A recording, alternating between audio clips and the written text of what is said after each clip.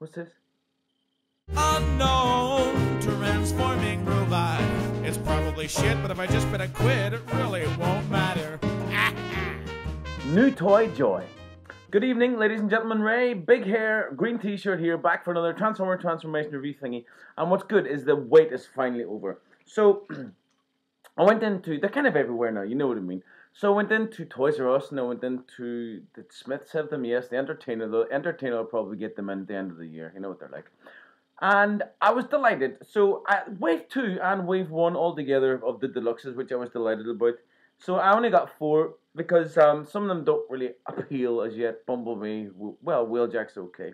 So Smokescreen because they've never had a smokescreen, and uh, Brad, uh, just an XLA on XLR. Just in case you're wondering, the uh,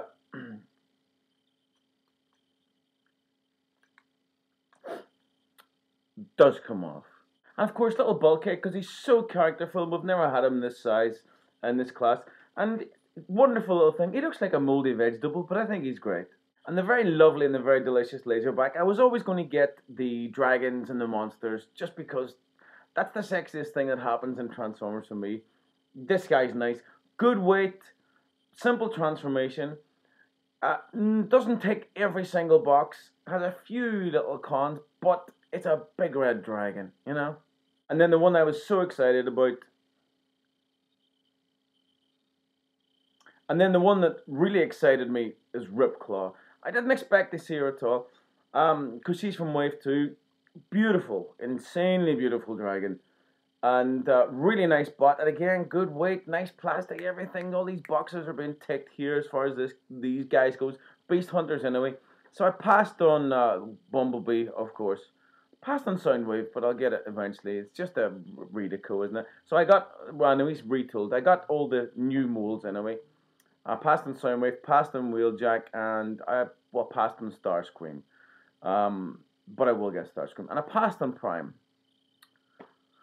because I was always going to pass on Prime. Um, but they're here. The wait is finally over. The weather is beautiful. Auto assembly is nearly here. I've got big hair. What am I doing today? Oh yes. So this is a Mega Dinobot from Energon, of course. And there's so many. There's so much about this guy. The, rather the two of them, because it's a dinosaur combiner. Uh, there's so many things about this guy that just make him really, really stand out. Love him or hate him.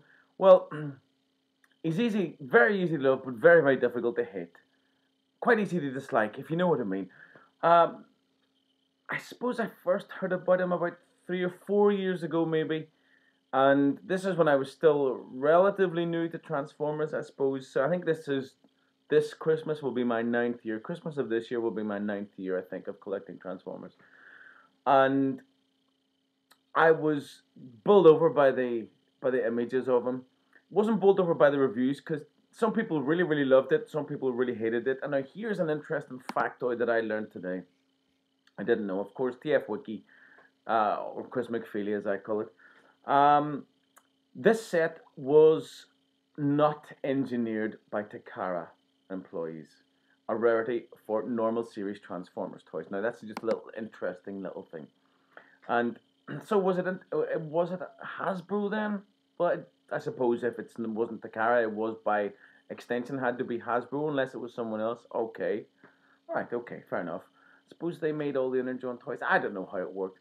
I would quite like a uh, a detailed bio of kind of the mechanical and design processes of these things where a particular bot was designed. Is it a Takara designed or is it Hasbro designed or I'd love to know stuff about that because that's the stuff that's really really lacking for me. Uh, the character bios and all that can kind of you know take or leave, but that kind of stuff really really interests me. Let me see if there's anything else. I'm going to give you a little bit of BG, of course, not enough to do you any harm.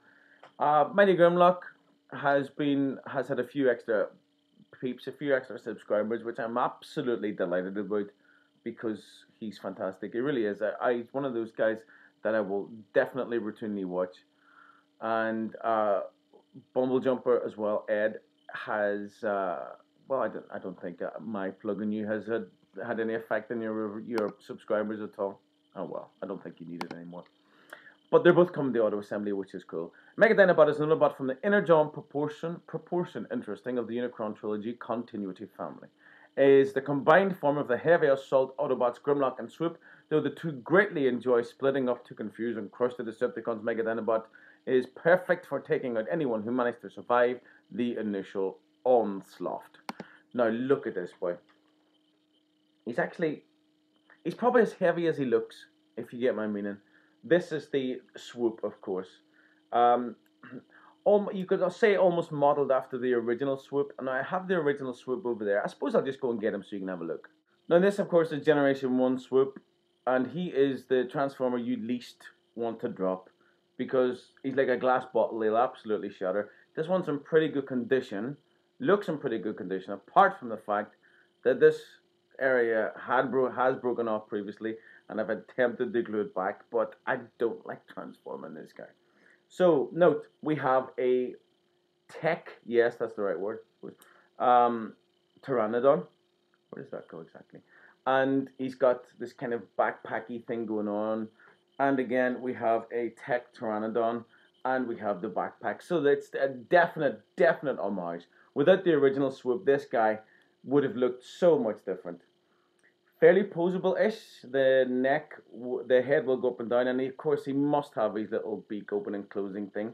The legs, well, there's a problem with the legs in it. There's no real. Where do you stop? Where's where's the stopping point here? Is it is it is it there or or is it there? I'm not really sure what it is.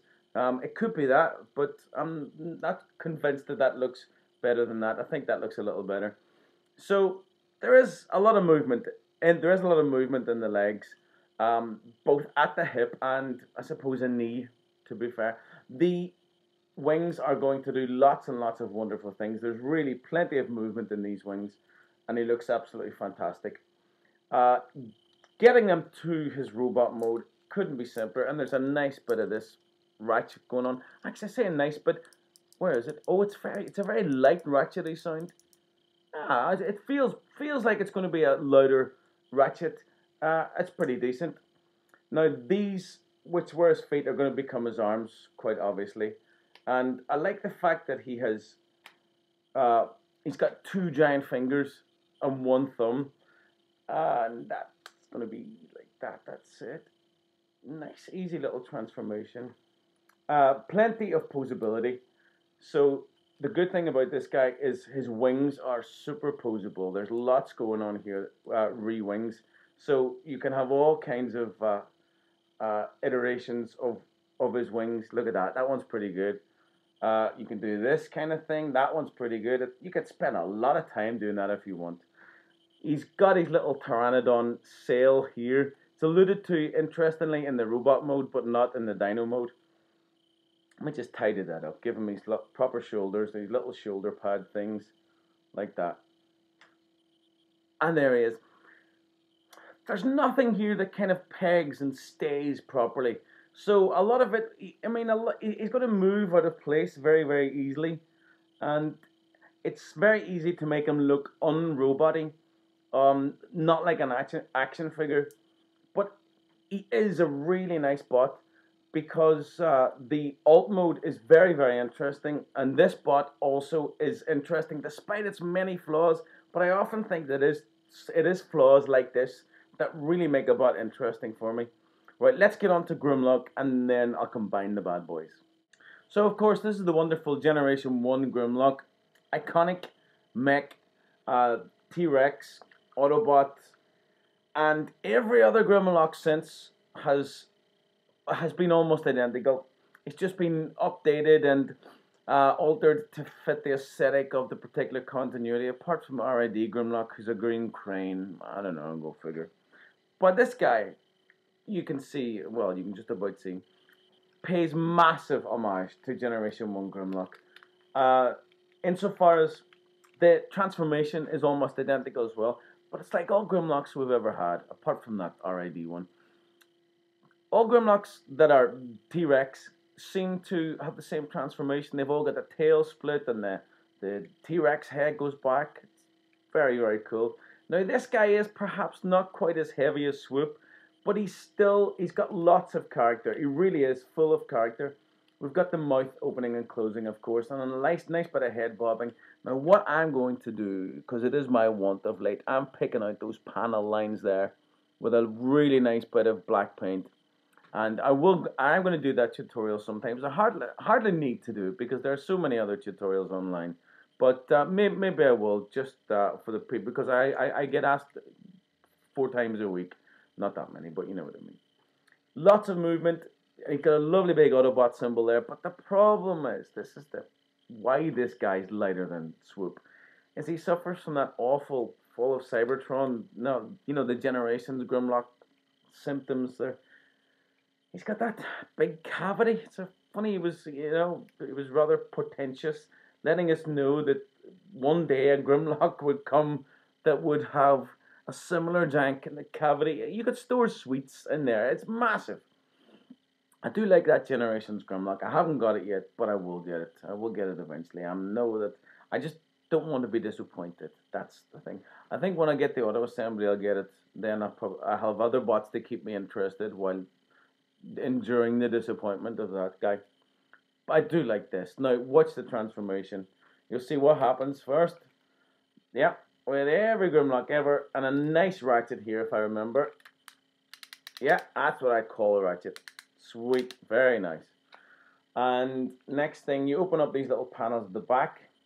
And what happens next? It wouldn't be Grimlock if this didn't happen. All the way. That's a bit of back kibble there, isn't it? That is some backpack. And you can just about see here, these arms will go up about half an inch either side. And again, wouldn't be Grimlock if the fists, if the robot fists weren't in the rear legs of the T-Rex. Now, I've got to give you a little close-up on his face because he is Grimlock, Grimlock-esque. He looks like a cross between, I don't know, he looks a bit like the War Within Grimlock too, now that I think about it. You can just about see it there. He's dying to split open there. He really is. Now, the good thing about this guy and Swoop, they didn't come with any accessories, which I'm pleased about because I cannot be bothered with accessories. I don't really need them in my life. I have quite enough, thank you very much. Uh, uh how does he compare with Swoop? Let's see. I think Swoop's a little taller. Yeah, oh, actually, he's considerably taller, isn't he? Now, what happens next is there's a wonderful thing. Both these guys combine to make the ludicrous, the absolutely absurdly wonderful Mega Dinobot. Uh, I'll just show you. And there he is. A massive, gangly, floppy, misproportioned, but wonderfully ridiculous Mega Dinobot. Have a look at his face. That is a definite uh, war within yeah, Grimlock face.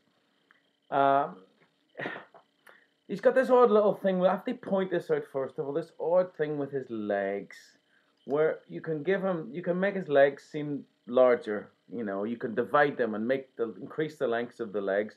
But unfortunately, they're so floppy and they won't, it won't stand in that mode. So you've got to put the two things together. You've got to do that. And when you do that, it makes him look completely and utterly ridiculous, like he needs the loo. And you can't do anything about Swoop's arms here. There is nothing to be done. There is nothing to be done. So the best thing to do, I think, is to try and capitalize on the fact that they're there and uh, pull them off. No, and uh, just give them, just give them an extra set of arms. Uh, rather like, you know, that you can get some really interesting kibble things going on, like you do with a lot of the spiders. So this is an option, which is it's all right. Uh, so he has four arms, but again, he's got the he's got the leg problem completely there. Uh, he looks better like that. Yeah, he does. He looks better like that, but he won't stand. So in order to make him stand, you've got to give him his I need to pee mode. Uh, there is a problem with his arms in that they uh, this this thing is really really in my uh, line of sight and I can't unsee it. Once it's there, I just can't unsee it. There's an awful lot going on at the back, but there's some really ingenious little uh, bits of uh, a transformation that you've got to do in order to get both of these guys to combine. For example, Swoop has uh, two little kind of uh, fingers on the end of each of his wings that have to uh, click onto these parts of Grimlock's tail. But you see, as a combiner, doesn't really work. But it is, but it is a very interesting experiment, a really interesting experiment. Again, one of the pros of this guy is that there are no accessories. I can't stress how happy that makes me that he doesn't have accessories. But as a bot, as a as a duo combiner bot, it doesn't entirely work. It doesn't tick all the boxes. But like I say, it's all these terrible flaws that make this guy so interesting. It make him so so attractive and a, a slightly freakish kind of way. I definitely, yeah, why not go the whole hog? Give him some extra arms. Yeah, get out Grimlock's arms there. There you go. Now that's what we're talking there. Hey, in for a penny, in for a pound. That's much better. Look, he has all the arms, this chap here. That's what we're looking for. So, if you don't have this guy, and if you're a big fan of bots, um, if you're a big fan of bots like me, then you must have a look out for this guy. You can pick him up God, if you get him for 25 quid, you've got an absolute bargain. You really do. If you're going to auto assembly this year, this is one of the guys that you really must have a look for if you don't have him. Because he is so quirky. He's quirky as all get out. He's absolutely dreadful and wonderful all at the same time.